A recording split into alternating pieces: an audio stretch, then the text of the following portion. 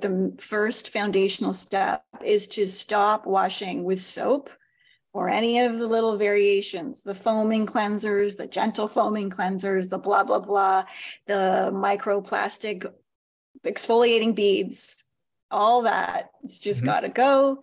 And you want to take it back to the ancient practice of washing your face with oil.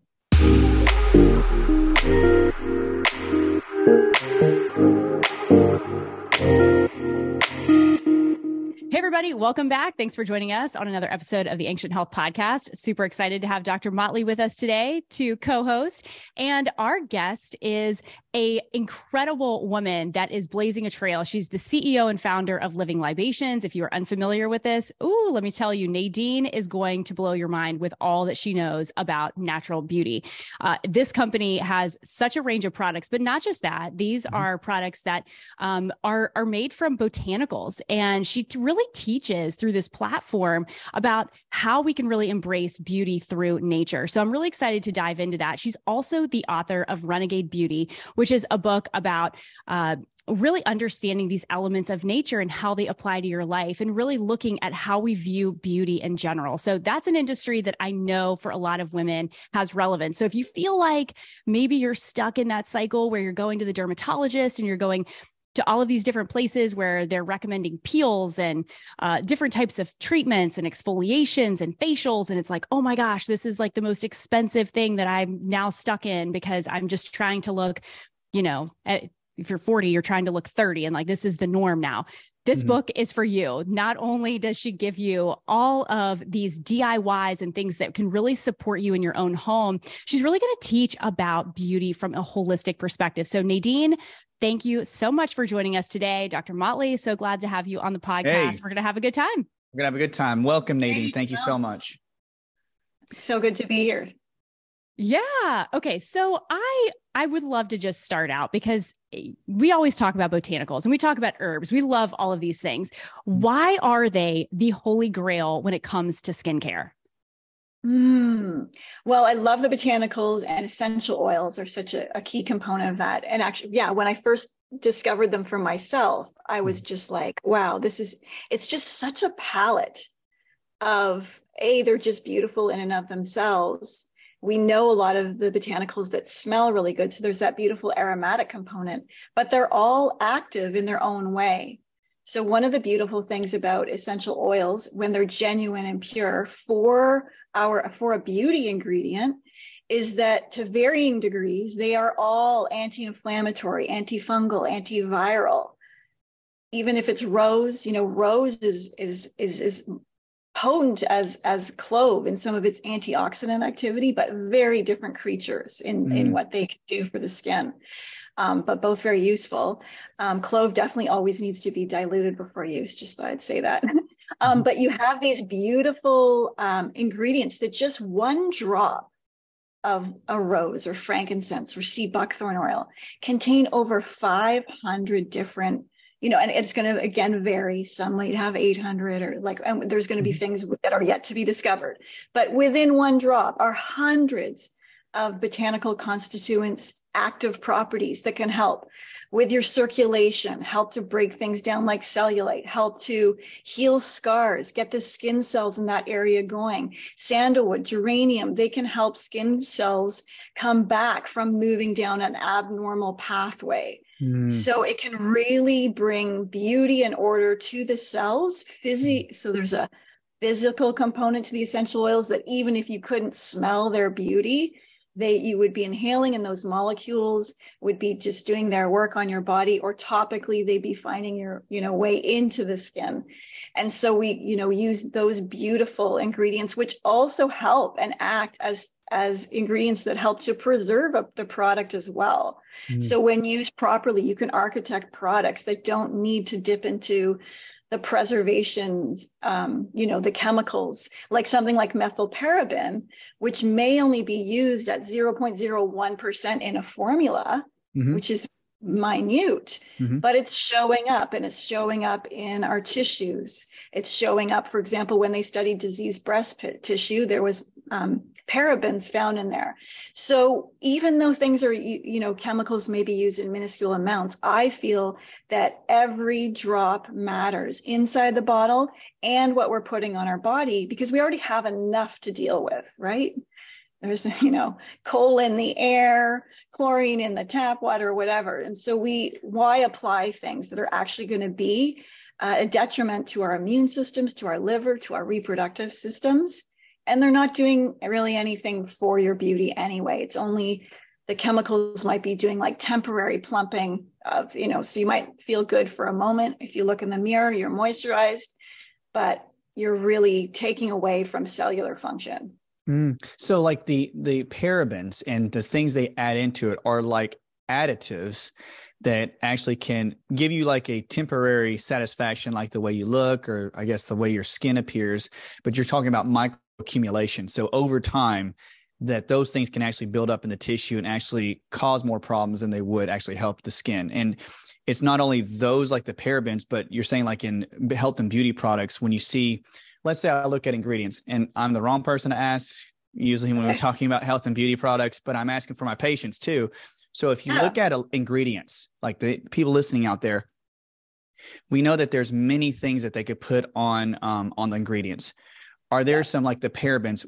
Are there some no nos you say if you see something, even if it's in a quote a natural healthcare product, um, or if there's like certain types of dyes are there certain ones that you say no do not do that or if it's like if you can't pronounce it or know what it's about then don't use it like what's your standard or guideline when they're looking for something to use on their skin well, yeah, generally, if you can't pronounce it, don't use it. However, um, we have to include the Latin names on labels. So some people might, you know, like Santalum album is the Latin name for sandalwood. So that, you know, might throw some people off. But generally, just like that whole chemical realm, it's just like, no, just no, mm-hmm. no, no.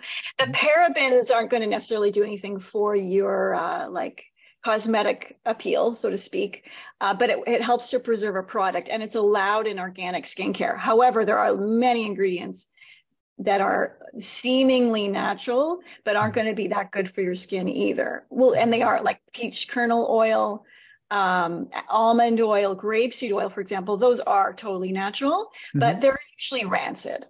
You know, oh, wow. I'm writing processed. this down. Yeah, just rancid. And we don't want to put anything rancid on our bodies, right? Because then you're dealing with it. So then there's even like choices within the within pure. So things like jojoba, which I just love and have been using in my in my skincare since I was 18.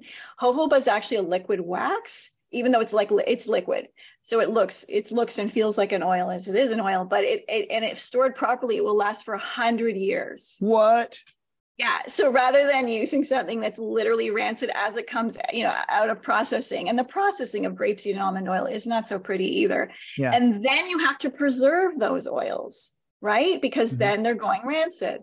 Um, so there's those issues, or something like glycerin, mm-hmm. which you know maybe okay is like a food thing sometimes, but when we're using it in uh, skincare or if like toothpaste, so it's natural, like a natural toothpaste. Maybe it doesn't have sodium lauryl sulfate, which again, we don't want. So basically like no chemicals, just no. So, yeah, and no there's chemicals. thousands. And the word fragrance has like 200 chemicals in there. So it's like, it's deep, it's crazy, and it's just no. And then, so something like glycerin, which would be in your natural toothpaste from the health food store, it creates an invisible coating on the teeth that doesn't rinse away with just water. And when we go into the teeth or really mm-hmm. any system in the body, we know it respires. There's basically uh, inhalation and exhalation to kind of all living things. And uh, mm-hmm. you know what I mean? So our yeah. skin has a respiration cycle. Our teeth literally, there's, there's actually, you know, there's a fluid that comes out of the teeth, which is a whole or deep, a deeper subject. There's a lymphatic fluid. Um, but that glycerin, which seems natural, will coat that and will inhibit that sort of breathability. Another example of glycerin, uh, it's in like KY jelly. So maybe the KY jelly seems sort of inert. It's clear, like it doesn't seem maybe that chemically. Mm-hmm. But when it's studied, what we understand is through the process of osmolarity, which is sort of like a thing you learn in like high school science, is though the cell because the outside of the cell you've got the ky jelly then the osmolarity will make that cell release its water to balance the water inside outside so mm. so what's happening we don't even have to really think about osmolarity but what's happening is that the cells for example inside the vagina with the glycer the ky jelly mm-hmm. is when we look under the microscope they're shriveling up wow and they one researcher well he said they looked like little cellular raisins so so you're getting that temporary plumpness, you're getting that temporary lubrication, but really looking at a long-term drought where even it's causing the, the cells inside the vagina to slough off early before mm-hmm. their time and literally make the whole yoni more susceptible to STDs, for example. Wow. And that's a good example that's of, yeah. you know, it seems okay, but, you know, not to mention the yeast and the sugars that the KY jelly is creating in that environment as well, or affecting sperm motility. So yes. like that's what I was asking. Like with... one, yeah, one ingredient, and you can just see a whole rabbit hole of things that we don't want. So yeah, I think. Would, yeah, go ahead. I think I think in you know that section of like wherever store you're at, just steer steer clear. In fact, actually, most uh, you know if you're like some type of pharmacy or you go to the grocery store and you're on the aisle and you know because you can smell you can smell all the fragrance coming from it. I like hold my breath. I'm like guys we're not going down that aisle because i can't handle the i'll have like a chemical headache just walking through that one section. So that's just a giant like cross that one off the list. It's canceled. Uh-huh. we're not going there. What would you say uh-huh. then? I would love so this is interesting and i'm actually interested to see what your thoughts are too dr motley because recently I have seen a number of people that are coming for all of the people in natural health and they're they're even like advocating in large part for natural health but saying that things like these essential oils are so harsh, they're harmful for the skin. And so you're actually creating more problems, you know, in inflaming the skin because we're taking something that's so potent, we're basically making an extract from it and then applying it and now we're having you know potentially a, a, greater reaction poor reaction from the skin. Like what are your thoughts around that? Because i feel like a lot of people are now saying you know and I, so i want to clear the confusion around that. Yeah that yeah that is gets confusing. The thing where you have to start with though you have to start with a real genuine authentic essential oil. Mm-hmm. like which there you know which i mean the games that are played in that industry are huge, right? I mean, for, is it true? Like, is it a fragrance oil? So there's even like just, which is, you know, created out of petroleum. Or in my book, I have a perfume on chapter and the new sort of frankenfumes that are made, like, because they're growing fragrance on E. coli. Mm-hmm. Yeah. That's a whole other wow. thing, right? So there's so forget the synthetics and the petroleum. There's just this whole other realm. So there's that realm, and then there's just adulterating and cutting, and maybe part of it's natural, maybe it's, it's partly real peppermint, but then they've made synthetic uh, menthol in there, or um, maybe you thought you were getting Melissa, but it's some kind of like lemongrass situation. So first, genuine, authentic essential oils, and most on the market aren't are not right? There's mm-hmm. something going on, some kind of adulteration. Um, and so that could cause, and if they're used eh, like that's going to cause burning on the skin or who knows what else, because who knows what it is. So there's that. Then there's also the, you know, using essential oils properly. Now, most people in their skincare, you're not going to be using things undiluted. Mm-hmm. So we're again, we're not applying clove to just clove just on our skin. Mm-hmm. Um, and that would definitely be concentrated. So there's sort of learning how to use them properly if you're using the straight up essential oils. But what we're doing when they're distilled, you're distilling sort of this lifeblood of the plant mm. that actually you're taking away a lot of the um, things that, you know, would be like in a not that there would be oxalates, for example, in essential oil, but you're you're distilling it, so you're getting rid of sort of the all the the chemical natural chemicals that you know mm. some can sometimes be hard for the body to digest. And by digestion i mean you know through the mouth or through the skin. You know what i mm. mean? Sort of that body's ability to interact with it. So that's really important and um, yeah, once you're working with the real thing, though, where you can go with essential oils is so exciting because they mm-hmm. truly are anti-inflammatory. Like you can, you know, get some like blue tansy and frankincense kind of combo and apply that to the the rosacea because you're going to also be helping the mites because the rosacea is it's an inflammatory reaction on the skin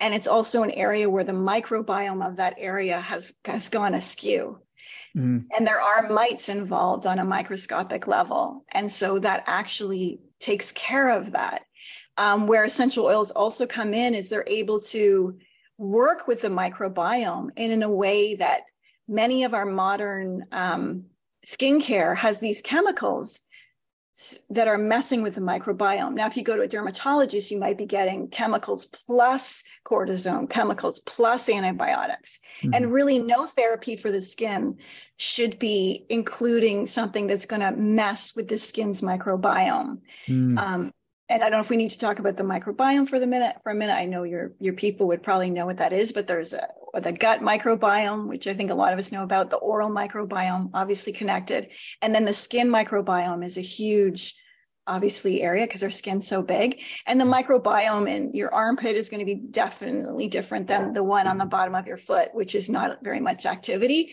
mm-hmm. and it, as gross as it sounds, we kind of need to get out of the way and allow the bacteria to be our beautician.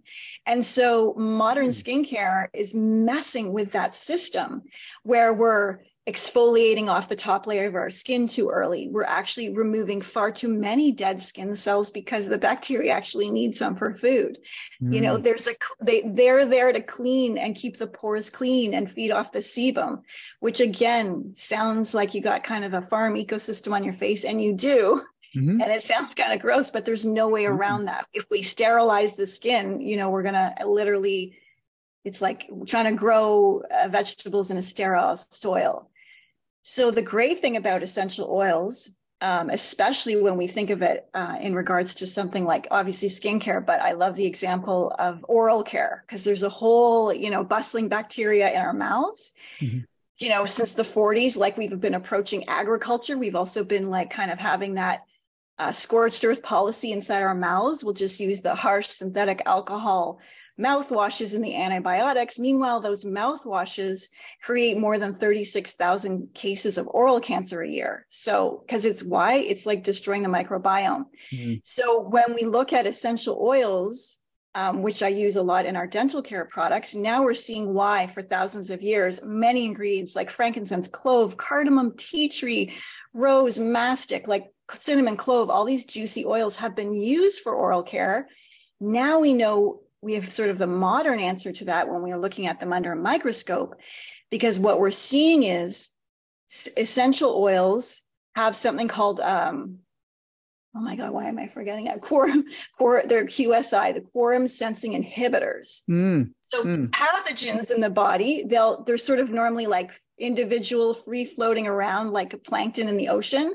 Mm-hmm. Then when they the immune system's down, they can start to gain traction through quorum sensing, mm-hmm. which is how they can group up and gang and create biofilms.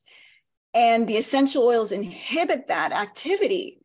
So in our mouths, we're able to have things like clove clean up the pathogens, but mm-hmm. work with the beneficial bacteria. So they can clean up the pathogens without destroying the beneficial bacteria. And really, what other medicine do we really need right now? Like, that's it. Mm. Where we can, so we don't have to have this like antibiotic approach. Again, those are good. They come in handy, but it's in the supply. They've been overused, overprescribed. Um, milk contains uh, the allowable limit, limits of tetracycline in a classic milk is is out of control. Mm-hmm. So we're having uh, issues where there's antibiotic resistance. And so even essential oils are used in like chicken feed, for example, in Europe, because instead of antibiotics, because now they're able to see like adding oregano to the feed is helping on a larger scale commercial farming. So that's one reason why I love essential oils. I love that. That was good. I'm not kidding, uh, Nadine. Like when we were talking about how the skin will allow certain bacteria, like you say, like it's farmland, uh, that how it feeds off the dead skin. Um, in mm-hmm. the office, many times, like when we look at, like we do a lot of acupuncture in the in the office, yeah, and we I right. always approach infection states I hope I do similarly, that whenever you find an area of the body that has a higher amount of infection, let's say there's a lot of strep, let's say there's a lot of staph aureus on the skin.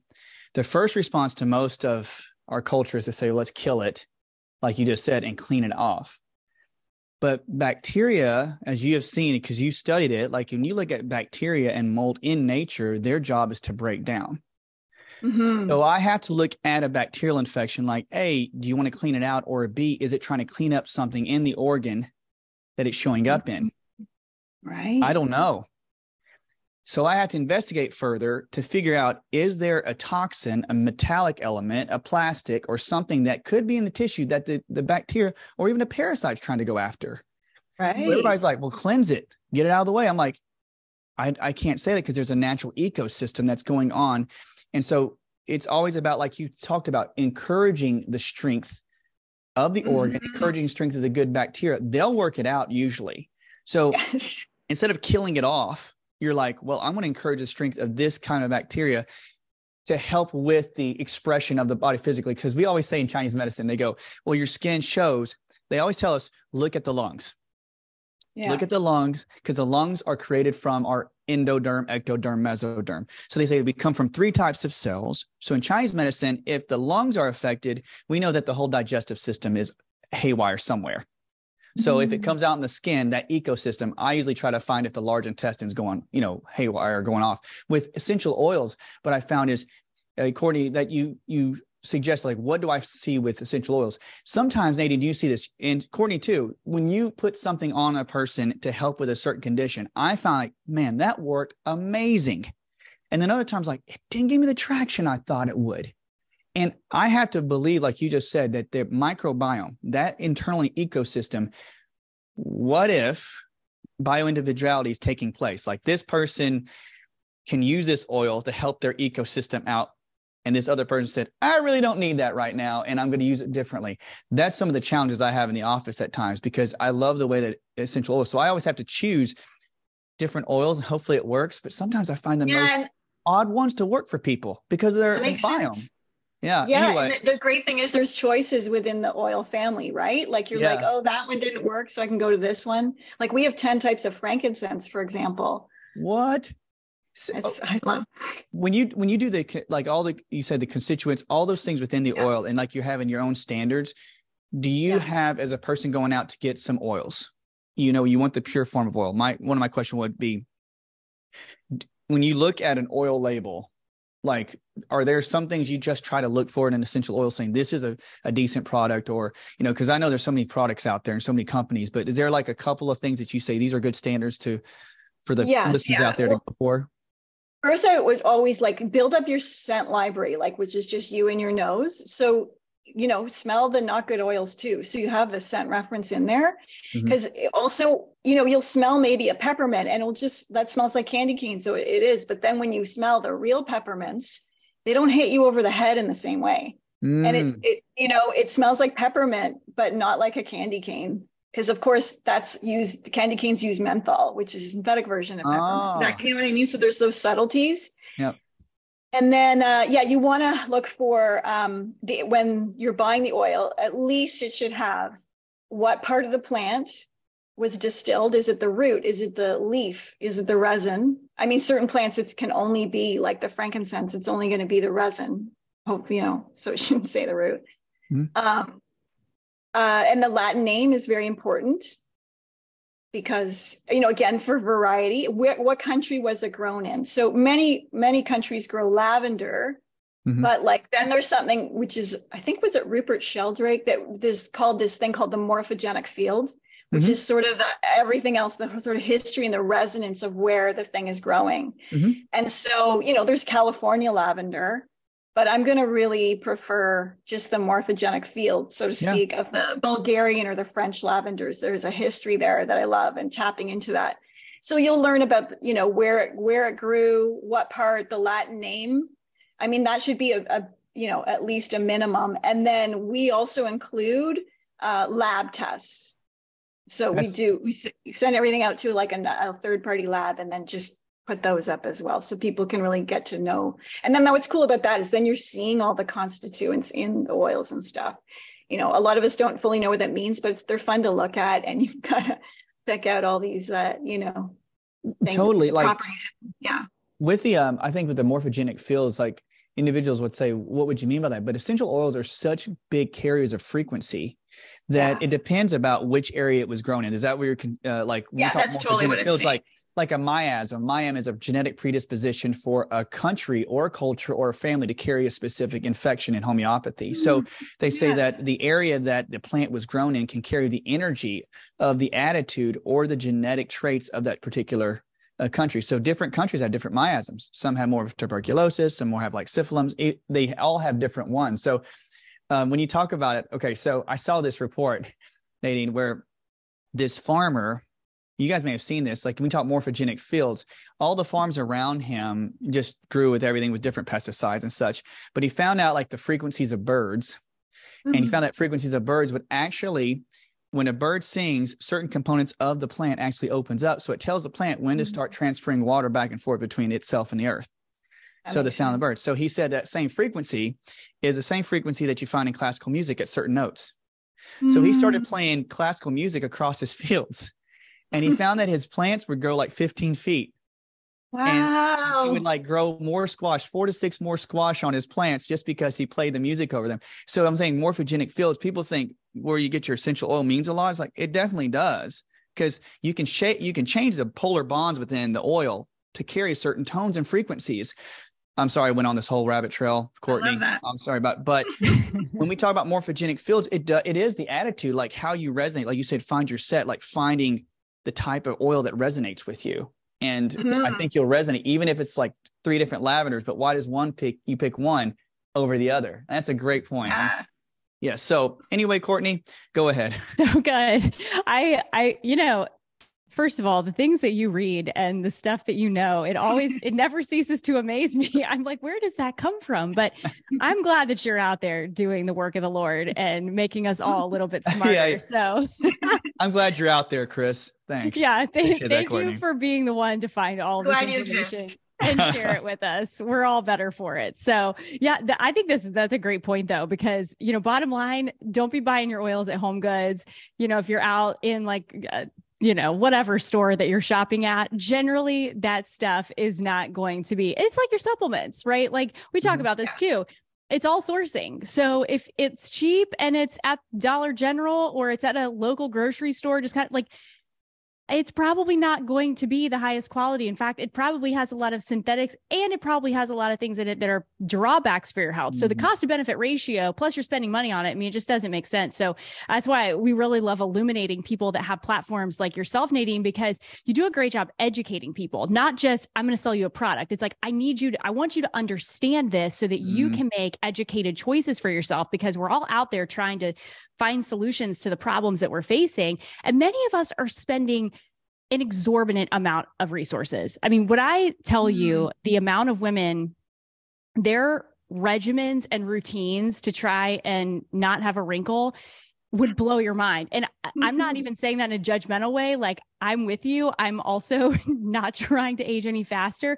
However, I don't want to have to subscribe to all of these different treatments you know to to try and like preserve eh, my oh, face oh, yeah like, so what, what, what's I, going on with all of this? I would that's what I feel like sort of been my uh, raison d'etre sort of when I'm just like going into an area of the body mm-hmm.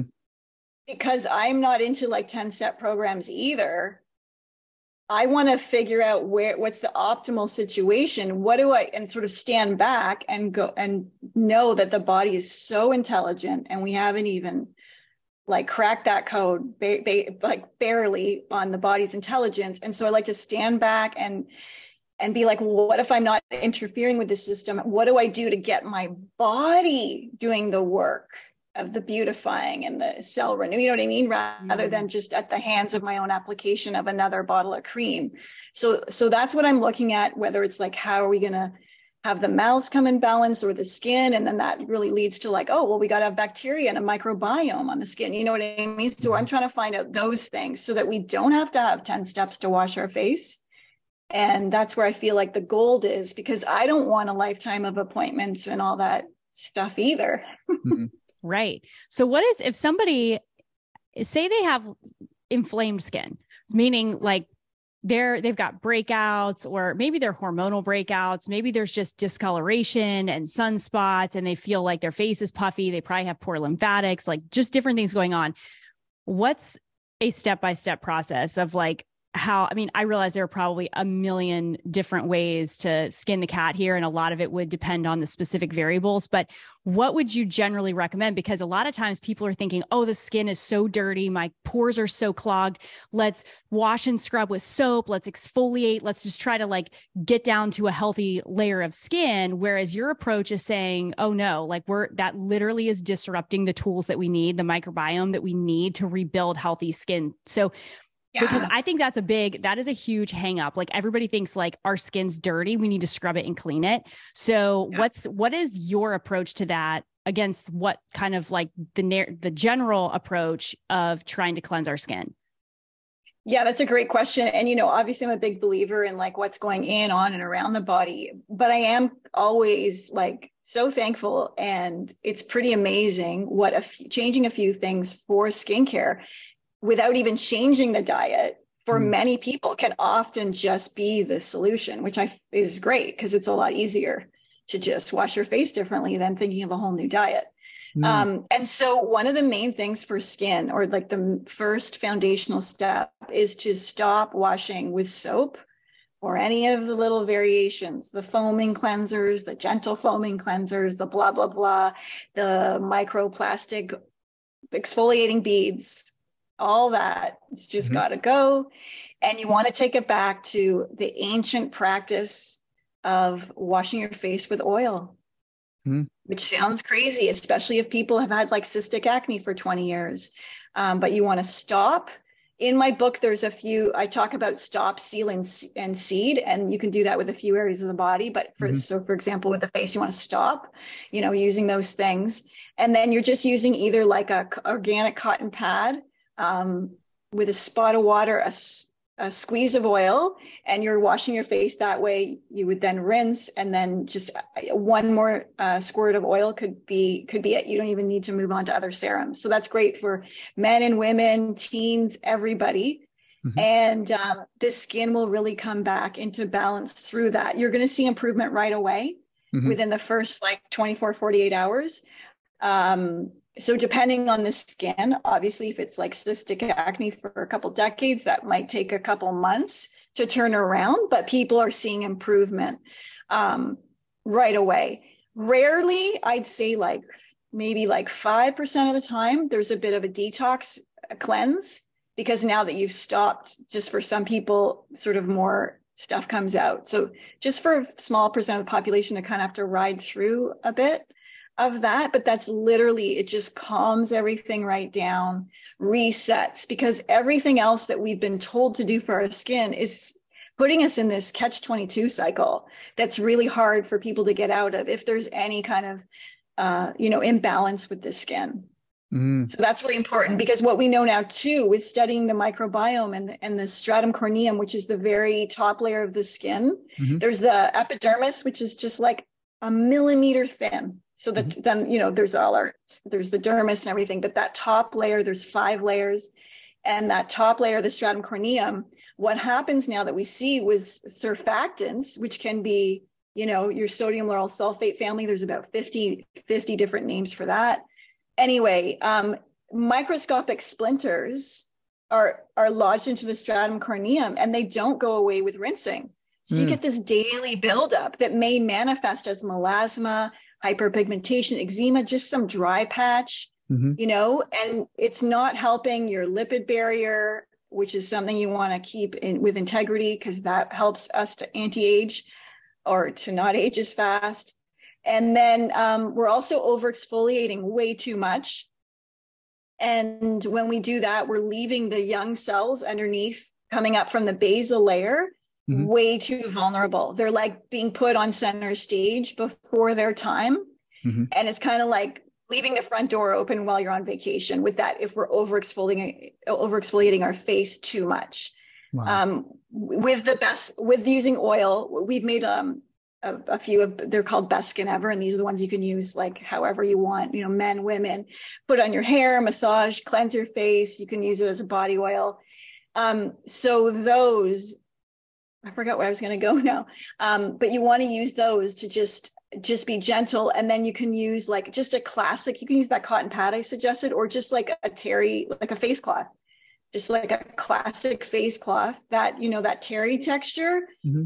That with the oil and water, that's enough for daily exfoliation, just that light buffing that the, the terry cloth does. You know, or if you want a little extra exfoliation, you can add just a pinch of baking soda, which mm-hmm. is, you know, very fine. And you could do that as well.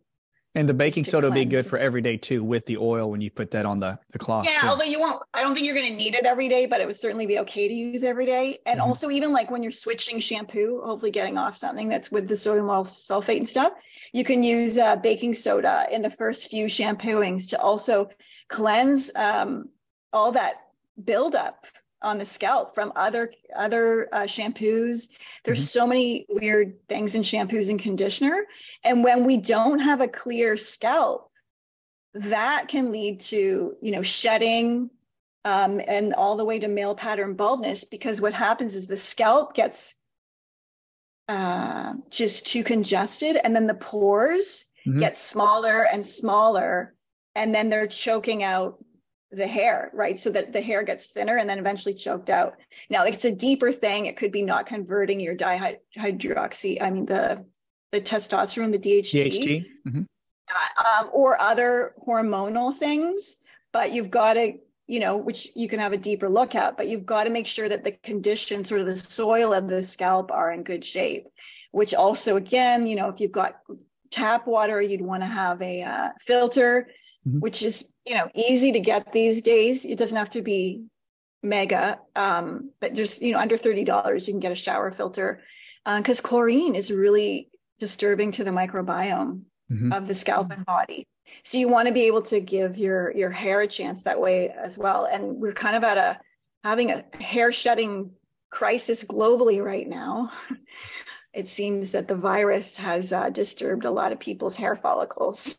Definitely. So when you have the oils though that you can nourish the scalp, you have the oil on your yeah. website, you have that that combination. They can go ahead and just find it from there. And you said you could put it in your hair. Do you have a separate product for those thinking about their hair? Like because a lot of people are losing their hair. Do you have a separate product for shampoo and conditioner, or, or do you just use the oil over do. the hair? Yeah. Yeah. Okay. The oil you can use everywhere and it can be, you know, even baby, even like we have specific ones for babies, the Jai Baby Joy, but yeah, within the best skin ever range, you will find uh, i mean and we have people saying like it's the holy grail it's liquid gold. I mean we have it's diehard fans there. And yes we've also made like uh, we've got two beautiful scalp oils. There's one with pumpkin seed oil and and stinging nettles and oh, and wow, rosemary yeah. which is so good for the hair. So that really helps. And you can oil up your hair I like to, um, you can do it just before you're shampooing, but I like to, if I'm not going anywhere, then I'll take a few days before I'm washing mm-hmm. and I'll just like rosemary and put the Crown and Glory oil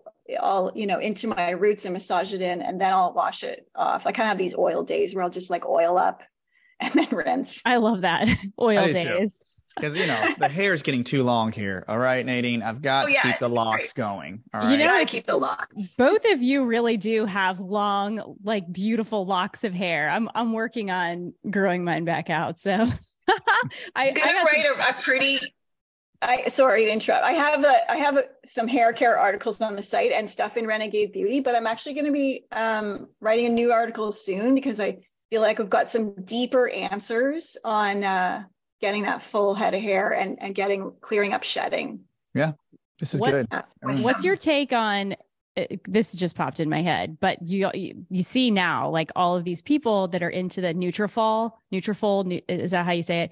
Yep. Anyway, it's I'm not sure if you're familiar with this product, but it's like they're capsules. It's a supplement, but oh. it's essentially supposed to help you grow like these, you know, long luscious locks of hair. And so you just see them everywhere and they're not inexpensive like they're they're pretty pricey for what they are but i've had so many people ask me hey what do you think is this going to help with your hair growth and you know i generally don't like jump on the bandwagon or something that's just like hey take this pill and your hair is going to grow wildly you know amazing I, am just mm-hmm. interested in hearing you know uh, uh, any any and all thoughts on that I would love to look at the label, you know, just yeah. really see. Um, again, it could be a combination where you can easily achieve that through some other, you know, doesn't necessarily have to be that brand.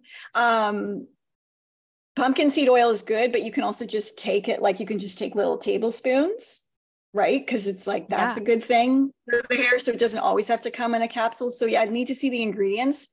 Um, but yeah, you want basic nutrition for your hair, and you have to see if there's underlying hormonal issues. Thyroid's a big one. The DHT is a big one. And so those might not necessarily be cleared up by herbs that are good, herbs and vitamins that are good for hair. So you're going to want to check that out. You definitely need the scalp to be the soil, you know, to be that in good condition, which a vitamin ne- won't necessarily fix either. Okay. So, mm. yeah, I like the well, combination. That, yeah, that's great. That, it's a really yeah. good way to think about it because now you know it's it's one of those like it's kind of like a feedback loop of where you know you're if you start treating if you start removing first a lot of things that have these mm-hmm. phthalates mm-hmm. and chemicals and they're very disruptive to pretty much every organ system of your body, right? Because now your your yeah. your detoxification organs, like your microbiome, like everything, immune system, all of that stuff gets affected. So you remove that and then you replace it with things that help nourish these different organ systems. And then you start to restore energy to things like your thyroid. So it's almost like you kind of have to start piecing the puzzle together. One thing isn't ever going to fix anything, but it does have this like domino effect where it triggers something else to start working mm. or or optimizing the function of yes. and then you start to see yeah. the symptoms resolve that's really that's kind of a, a, a really cool thing and i love I, we, I, mean we talk about this on all of our episodes like finding these swaps what what's totally. like a, a non-negotiable for you when it comes to your own skincare regimen what is it that's like this will always be the cornerstone piece or a foundation piece of of a practice that i do sun and oil. Mm. Sun for sure. Yeah. Okay, like date like sun outside. Daily sun, out, getting yeah. the sun. Okay. Sun. How many minutes what do you like to do, sun? Nadine? Like, do you like to do? Wait, what minutes do I do? Yeah, I mean, do you like to use oh. be on the sun for so many minutes? Is there a, like a minimum, or you just like just even a few minutes? Um, what's your normal? Oh, yeah, more than a few minutes. If it was, let's just say it's an ideal day, I don't have to work, and it's totally sunny all day. Mm-hmm. Then I'll be. I'd love to be in the sun from sun up obviously it's got to be warm out, but like sunrise to about nine would be mm-hmm. my first segment. Then I would do a few things and then I'd be back in the sun at like 10 30 to 1 maybe. And then back in the sun at the end of the day to, you know, take pictures in the magic hour and watch that sunset. That would be, that's ideal. Um, so you got to build up your solar, your skin. Our skin was designed to engage with the sun's rays. Mm-hmm. Absolutely, unequivocally, for sure. We have thousands of vitamin D receptors all over our body, and mm-hmm. they need to be brimming with vitamin D. And the vitamin D that's created when our skin connects with those solar sunbeams is different than the supplement, which is a fat soluble supplement and very key. Mm-hmm. Vitamin D is so key, but then we also need the other kind, which is the water soluble that's made with the interaction of sun and skin, which creates a very healthy form of cholesterol sulfate. And I mean, we haven't even tapped into like what it's doing in the body or like, you know, it's making antimicrobial peptides, it's engaging cathelicidins, it's so essential. And you want to start slowly but surely and start in the spring or whenever that sun is happening for you. We definitely have winter here. We have three months where there is no, um, no v- violet coming from those rays. So we can still get those beautiful red light all, mm-hmm. all year like everybody does. And that's why you want to engage in the morning is to get that red light before the UV comes in, and which is why we use, you know, red light for biohacking, and that kind of thing. Because what we, well, what I now know, which I don't know when we first came to know this, but we make melatonin, as many know, from the pineal gland at night, but that's only about 5% of the story. We actually have a daytime production of melatonin inside the mitochondria, which I find so amazing and mind blowing. And so we need that red light to communicate, to create that intracellular melatonin. And melatonin in the mitochondria becomes the body's most potent antioxidant. It's more potent than glutathione. And it's acting in the cell as a coolant for the process of the ATP conversion. So just taking that food and making it into energy. Mm. And no matter how healthy you are, there is uh, there's like uh, byproducts from that, right? So that those are the free radicals and the oxidants that are made no matter how healthy you are. And so you want to have that intracellular melatonin to cooling, to cool that whole process. So that's what the red light does in the day or that early, that earlier time of the day sun exposure. And that's so key to our health and beauty. And so you want to build up your solar skin, so to speak, so that you can, uh, you know, by the time it's July, you're not needing uh, sunscreen, per- hopefully, because you've built up your melanin and you've got your own base layer going.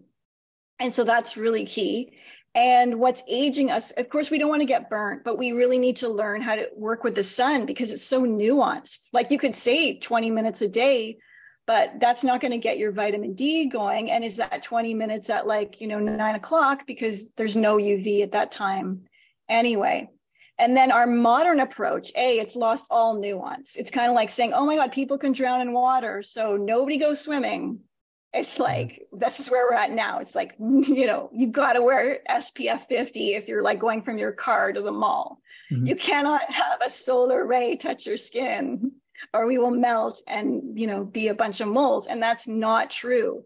It's like what are we bringing to the sun? Of course we don't want to be engaging in sunbathing if we're like you know drinking coca-cola all day and basically using the equivalent of pam as like a spray on uh, tanning oil um, because that is going to be cooked into our skin as well. And then with sunscreen it's so upside down because not only do we have these chemicals that we now know create, you know, endocrine disruptors, liver issues, fertility issues. Um, what's happening when we use sunscreen is that we're now receiving the sun's rays divided. So UVB uh, doesn't come in to the picture, and now we're just getting UVA. And UVA on its own is sun damaging and we're not getting any UVB, which has the vitamin D connection. So there's mm. no point in sunbathing at that point, right? Yeah. Because it's to get that engagement. Um, and when we look at like in my book, I have many studies, but like the Cochrane review, which which they go in and look at many studies and then kind of make a one study out of uh, many studies. So they, I think they pulled about 14 studies on the sun, and, you know, generally the conclusion was the more use of sunscreen, the more moles, freckles, and skin dysbiosis that happens, you know.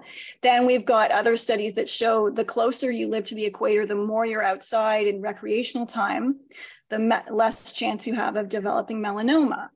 And then there's a study coming out, it was in the Lancet, and it was in the 90s. So before we were all in front of computer screens all day. And it was saying that you know the biggest issue with skin dysbiosis is exposure to fluorescent lighting.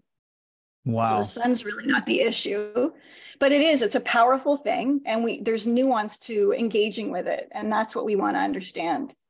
How to learn to live with the sun. Use the times of the day to actually work beneficially with the sun and not try to yeah try to say the sun is bad because we've learned how to filter out the beneficial effects of the sun because exactly. we haven't learned how to work with it basically yeah. that's that's great or if i don't have that much time i might actually pop out i want to pop out at noon sort of noon to one because that's actually when it's the strongest so i have less time i'm going to get that vitamin d going and i try and get my sunbathing in before solar noon mm-hmm. which is usually about one o'clock because uh, of the daylight saving times that we have everywhere Gotcha. So there's also a good app called DMinder. It's great, and so mm. you can you plug in your your lat- your location, okay. and then it tells you the sun cycle that day.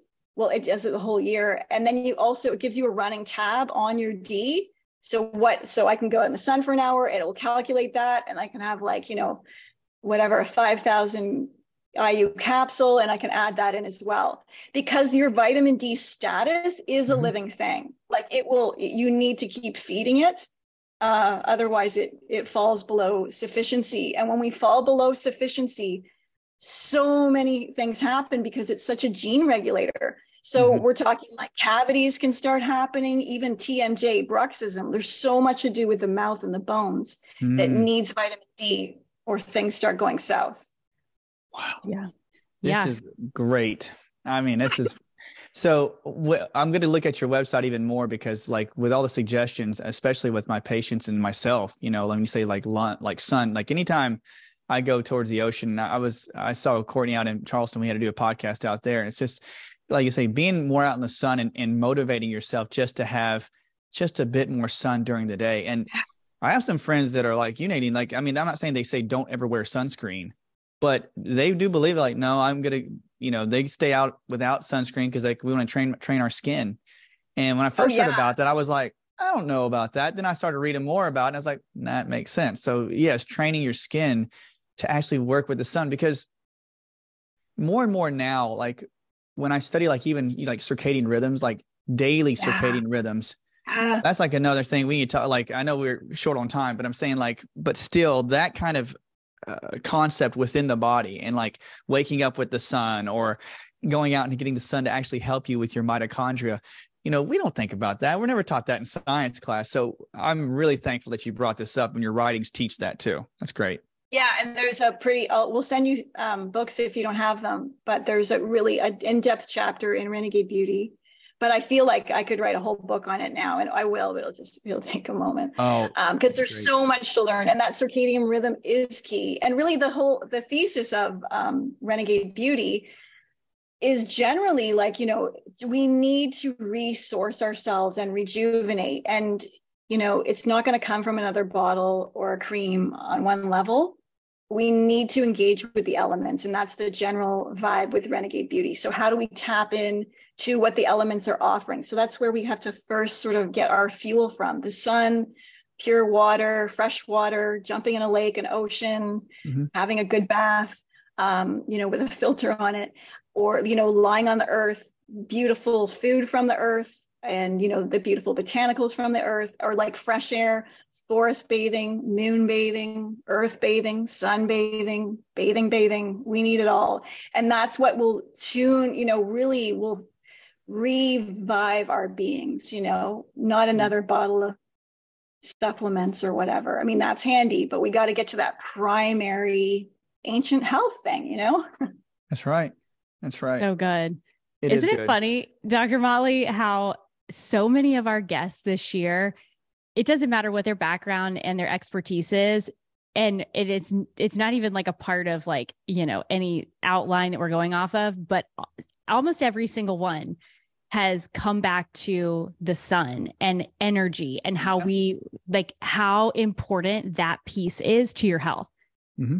you know I mean, it, it is like we, they all talk about it too. And i think like we've had guest Nadine that talked about how the sun hits your eyes, you know, and activates certain yeah. activities in your brain, and yep. uh, how it how you need that to activate your mitochondria, like you say, the melatonin. Um, yeah, and the suprachiasmatic nucleus, which is like that, helping our whole circadian rhythm. Dr. So, Laurent's like, thought about that's. I got to oh, study this stuff more. Oh, yeah, that makes sense.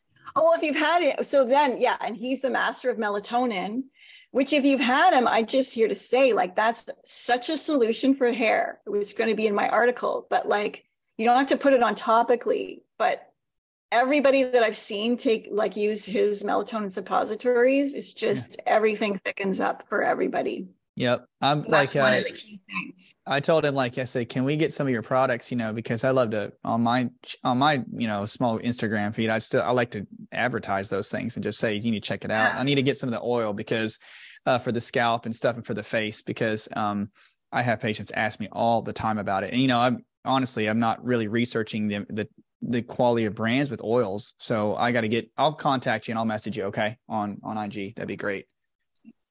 Thank oh you. man, this has been such this a great, great, conversation. Nadine, this is a great convo. This is really good. Yeah, I love this. I want for you to tell everybody where they can find you because you're as as with most of our guests, Dr. Motley. You know, here I am just shopping away. yeah, hey, Nadine, but, when you see Courtney and she's doing this, she's like, I was trying to write down like some notes, and Courtney's like, "Well, I got that in the cart." I, I really what? do because okay you've got stuff for kids like there's even th- things for um, their oral health and i'm always looking for ways to help support oh, yeah. kids. That's- even though you know my children do eat very well but um there's just a lot of garbage out there for kids especially oh, and you know it's it is crazy like so, if it's for kids let's just make it worse it seems. Right. Let's make it more plasticky. All right so nadine tell us where everybody can find you to find your resources your products everything that we've talked about on today's episode We've got livinglibations.com, which will take you there. And definitely email us any of your hair, health, beauty questions, dental. We're there to, you know, answer as best we can or send you resources uh, to get you on your way. And we also do consulting for free as well. So that's a great way. And we have, inst- you know, all the regular like Instagram and everything. And my books are wherever books are sold, also on our website, and they're both in Audible format as well. Wow. That's awesome. Yeah, your stuff is beautiful too. The way it looks, it's just it's, the presentation is really good too, Nadine. So Yes. Well, thank you so much for joining us today, guys. We're going to drop everything in the show notes for you, all of the little tidbits and tips and everything that we talked about. So make sure you grab those links, give Nadine a follow, check out her website, her book. She's got so many resources like she just described. So thanks, Dr. Motley, for joining. Nadine, it was such a pleasure to have you today. Such a pleasure to meet you. yeah. All right, guys. Well, we'll see you on the next episode.